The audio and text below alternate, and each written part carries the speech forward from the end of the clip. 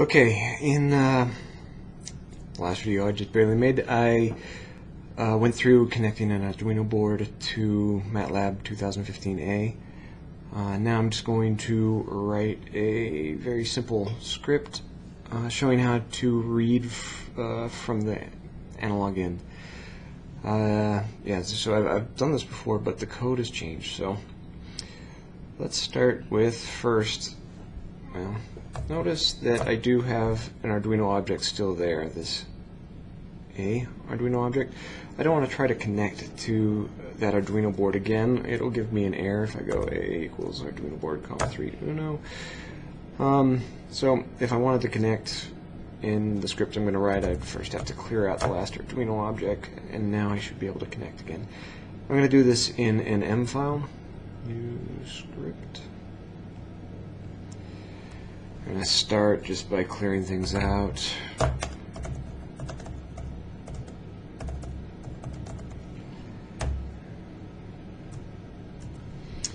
Let's see, then I'm going to declare an Arduino object. Point at A, COM port 3. I showed you how to find the COM port in the last video I did. Um, uh, an analog in pin that we'll read from. Let's read from analog in, and it wants it as a string. A, we're going to read from pin 1.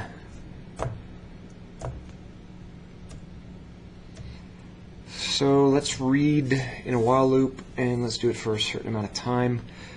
Uh, so I'm going to start a stopwatch just with the command tic, and let's say while toc, which is the time since the command tic is less than, let's go 30 seconds. We will do this. Okay. Um, let's get a counter i equals 0 and i is i plus 1 okay let's uh, declare a variable of time time i equals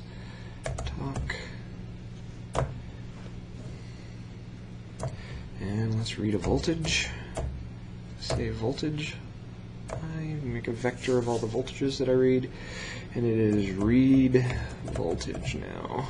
And I need to pass it the Arduino object and the pin. Passing it AI analog in.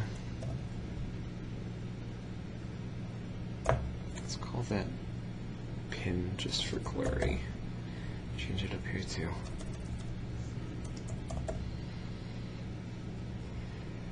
So I've got time and a voltage.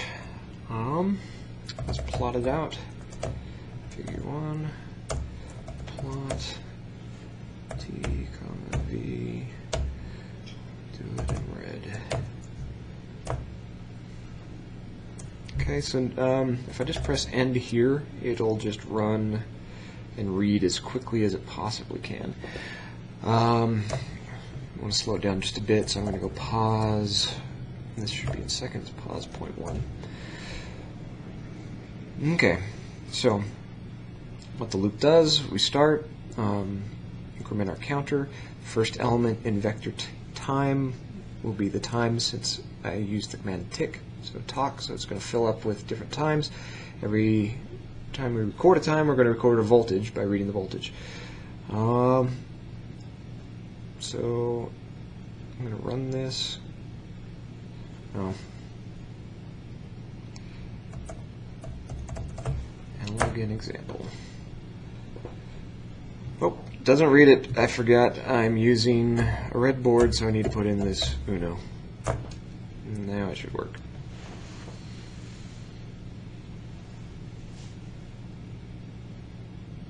Okay, so I'm reading from the board, but the board is there's nothing connected to it, so it's just floating. Let me switch the camera over to take a look at the board. That's what it looks like right now. So there's nothing connected. So let's put together a little circuit that could be of some interest. Let's go from 5 volts. Go to this first column. I'm going to go through a thermistor to another column of my breadboard. Uh, from that thermistor, I'm going to go with a static resistor. These are all like around 4 kilo ohms or something like that to ground. Then I'm going to go from that static resistor to ground.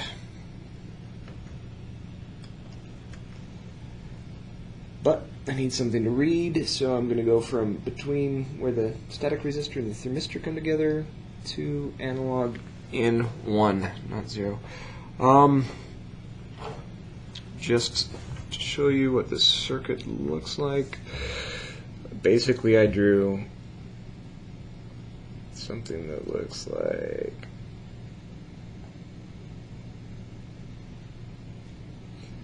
this is ground. This is 5 volts. And this is my, let's see, this one's my thermistor. RT. And this is just a static resistor. And then I took a line off of this.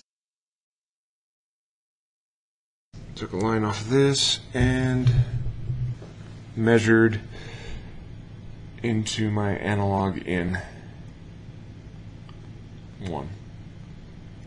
Ah, ugly one. But anyway, you get the point. Okay, erased. Uh, back to here. So now when I run this,